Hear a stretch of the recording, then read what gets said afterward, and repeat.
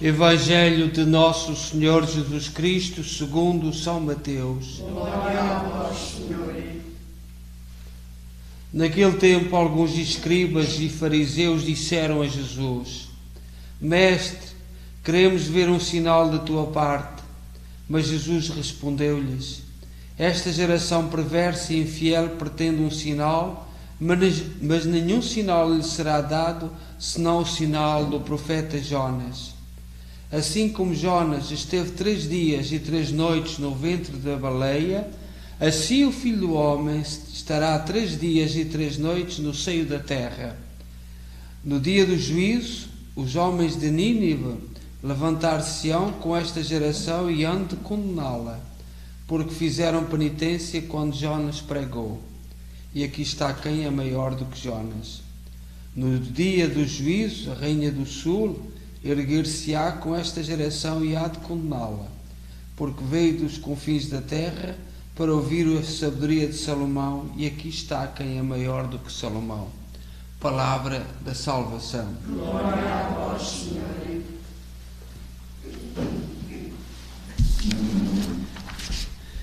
Nós hoje celebramos na igreja um santo de uma igreja, da igreja maronita.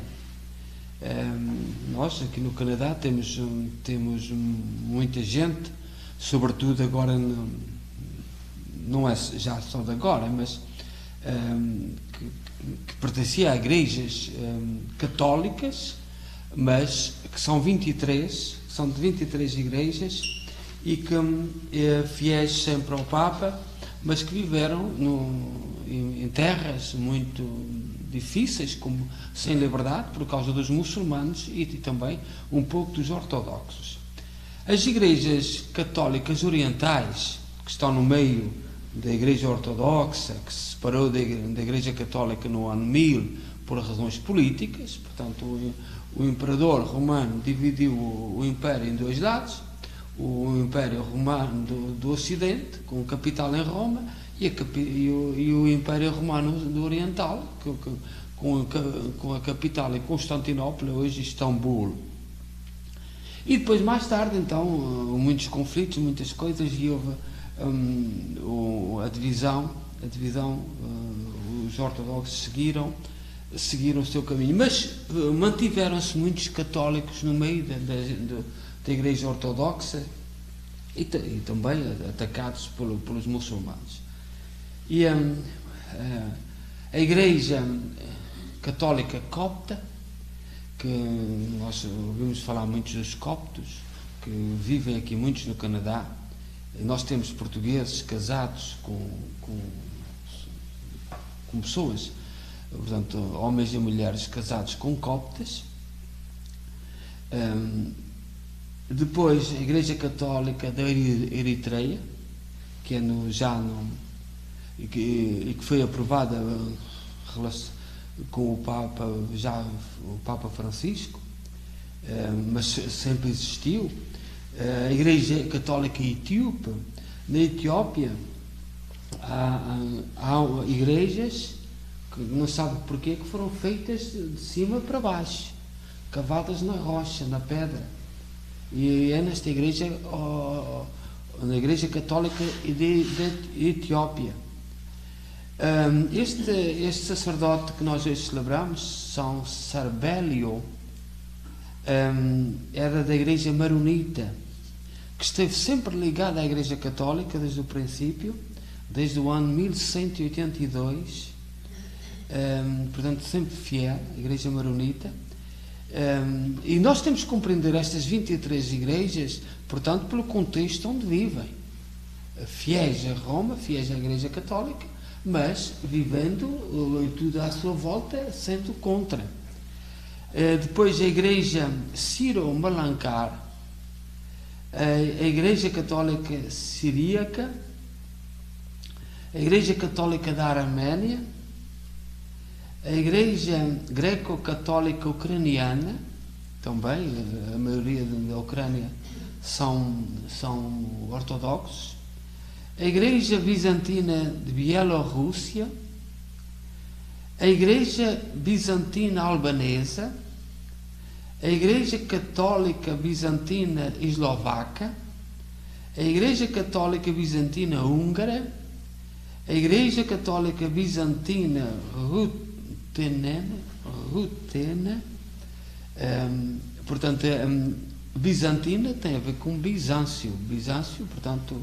Oriente um, de, ligado a, a Constantinopla.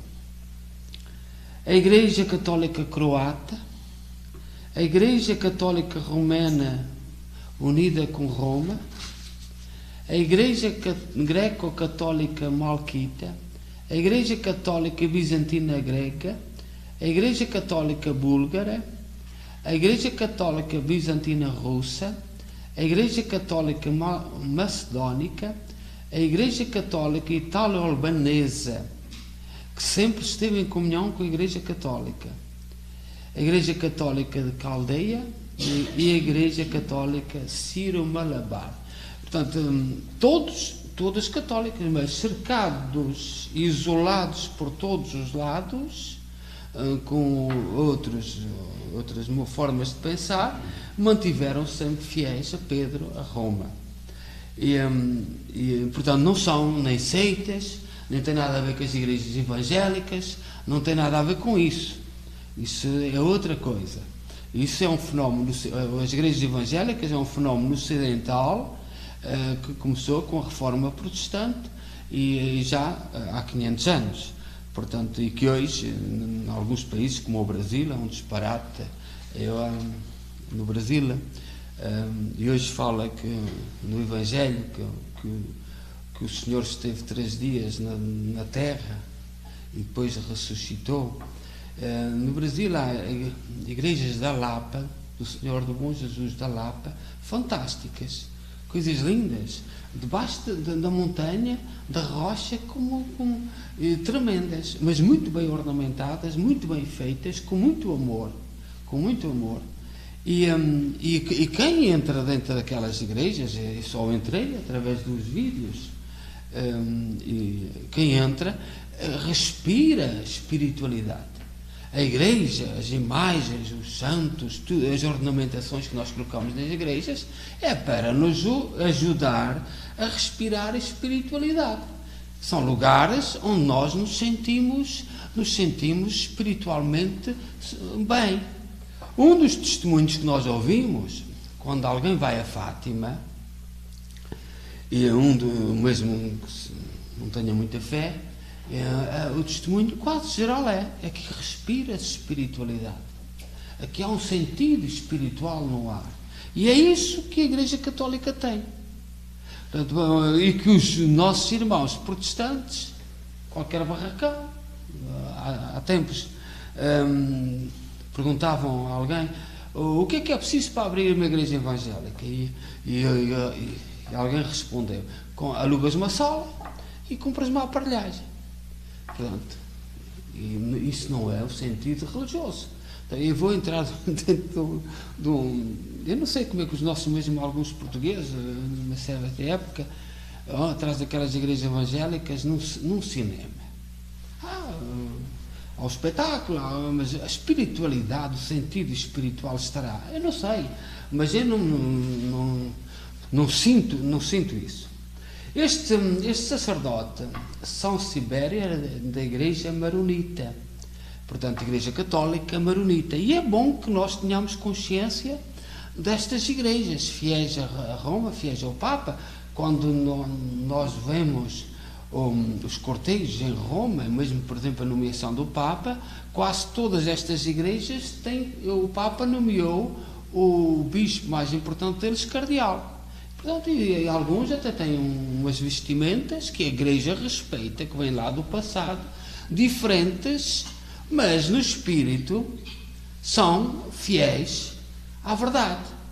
São, mas nós, nós no Ocidente vemos todos os bispos iguais, mas há algum ou outro, alguns com, completamente diferentes. O báculo, diferente, as mitras, por exemplo, na igreja, na igreja da Ucrânia é redonda, a mitra do, do, do, do bispo, mas isso é, indica-nos hum, a grandeza e a, a, a diversidade, os vários caminhos, vários caminhos para chegar a Jesus Cristo. Hum, eu não sei no futuro, quando, quando estas igrejas evangélicas, por exemplo, nós temos o Brasil que vai, neste momento, pensam que vão conquistar Portugal, eh, que, que vão, vão trazer a influência das igrejas evangélicas para Portugal. E, um, mas quando chegar à verdade, um, claro que nós teremos que respeitar também um bocadinho a, a cultura daqueles que viveram muitos anos naquelas igrejas, aquela barulheira, aquela, aquela, aquela, aqueles cânticos, mas não de referências nada nada espiritual em, em volta, uma perseguição às imagens, sem entenderem nada das imagens. Estas igrejas todas são riquíssimas em forma de, do mistério, de cultivar o mistério, apelar-nos ao mistério, à interioridade, à espiritualidade. Como é que é dentro de um barracão? Pode-se. Já celebrei missas no, no, em acampamentos, já celebrei missas em vários sítios, mas é que ocasionalmente não tem no, o sentido espiritual, não se, não se vê muito ali. Este sacerdote foi, um, que nós hoje celebramos, Sarbélio, um, foi ermita. As, estas igrejas do Oriente deram-nos este fenómeno dos ermitas, que é um, um fenómeno tremendo. E há um santo, Santo António Ermita, que não é o nosso Santo António, é um Santo António Ermita do século IV do Egito, que diz assim: Caríssimos, eh, caríssimos no Senhor, sabeis que, depois da desobediência ao mandato divino, a alma não pode conhecer a Deus se não se afasta dos homens e de todas as ocupações então verá com quanta energia o ataca o seu adversário. Na, na filosofia ermítica, os nossos irmãos que são chamados a, a viver, um, a viver uh, como ermitas no mundo, há uma necessidade de se afastar dos homens para se aproximar de Deus. E, um, e continua: se o combate não é vencido, sobrevém a tristeza a tibieza com outras muitas coisas e as moléstias de todo o género. Por isso os padres viviam no deserto, de modo solitário.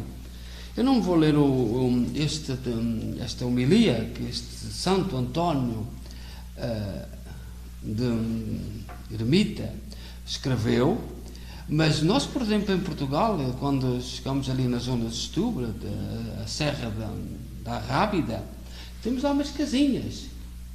E era onde viviam, uh, por influência de, das igrejas do Oriente, que, chegaram ao Ocidente, um, viviam monges que se reuniam só duas vezes por ano, na noite de Natal e na noite de Páscoa. É que passavam os ermitas, tinham a sua casinha, viviam lá na, na, Serra. Uh, em, em, Portugal é mais na Serra da, da Rábida, que, que que, que temos, mas em Espanha e, e, noutros, e noutros países temos, um, temos outros, outros locais. E, portanto, os ermitas era esta necessidade de fugir dos homens, das influências dos homens para se aproximarem de Deus. Porque hum, eh, se nós, no nosso tempo, nós estamos a ver o fenómeno ao contrário. Nós hoje temos ao contrário, fugir de Deus para se aproximar dos homens. E há muitos católicos a dizer que a Igreja tem que se identificar com o mundo, tem que se identificar. É um fenómeno precisamente ao contrário destes irmãos a quem a Igreja tanto deve. Fugir dos homens, fugir do pecado, fugir do mal para se aproximar de Deus. por outro lado, nós, as pessoas mais idosas, sobretudo nós que emigramos, e que somos de outra cultura, muito social e que a família tinha muito peso, mas muitos de nós estamos a fazer a, o papel de, de, ermitas em apartamentos, nas nossas casas, sozinhos. Portanto, que, que, que o façamos com, de forma positiva, criativa, aproveitando para limpar a nossa alma e para nos aproximarmos de Deus. Porque, hum, por um lado, o mundo, convite a identificação com o mundo, e, por exemplo, o fenómeno evangélico é um fenómeno de convite para o mundo. Muita festa, muita música, muito salto, muito, muita barulheira e pouco encontro com Deus. Uh, nós, na nossa sociedade, por um lado, somos convidados, enquanto somos novos, a fugir de Deus, e ultimamente é esse fenómeno que estamos a presenciar, e ao fim da vida somos então uh, convidados, e estamos a ser convidados pela sociedade ocidental a tornar-nos ermitas dentro da nossa própria casa, dentro dos nossos próprios apartamentos. Agora podemos viver isso de forma com frutos, como os ermitas davam, os eremitas davam, passavam horas a refletir, a pensar os fenómenos de Deus, a, a criação, no meio da natureza, sozinhos, sozinhos. Uh, ou então um sofrimento terrível, uh, um sofrimento sem, sem, sentido. Então que estas igrejas nos inspirem, no, não nos envergonhemos de dizer que a Igreja Católica, só no Oriente, tem 23 igrejas católicas, cada um o seu rito. Nós em Portugal, a Diocese de Braga, a Diocese de Braga, porque é muito antiga, uh, já era Diocese no século II depois de Cristo, tem um rito especial de celebrar a missa, uh, que é única em Portugal. Uh, um, um, rito especial que a igreja deu, como a estas igrejas orientais, pelo, pela sua história, pelo que sofreram e, e pela sua tradição, tem um rito, uma maneira especial de, de, de, celebrar, também a igreja de Braga. E penso, e penso que em Espanha, que é a igreja de Toledo, também tem um rito, as outras não sei, mas a de Toledo eu tenho consciência uh, que tem um rito tão bem especial, um, porque um, pela, pela, própria história e pelo, pelo, pelo, pelas coisas que passaram no passado e, e pelo significado que as, eh, que, que as coisas e que a vida na igreja tem e significa. Então que um, hoje este santo, que era da igreja maronita e que, um, que é católico, mas da igreja num rito especial maronita, uh, que nos inspire, que nos dê sentido a que os nossos, mais, os nossos maiores, que hoje são chamados a viver como eremitas nas suas casas, um, o façam de forma positiva, inspirando-se nos ermitas do deserto, nos ermitas das montanhas, que tanta riqueza deram à igreja. Seja louvado nosso Jesus Cristo.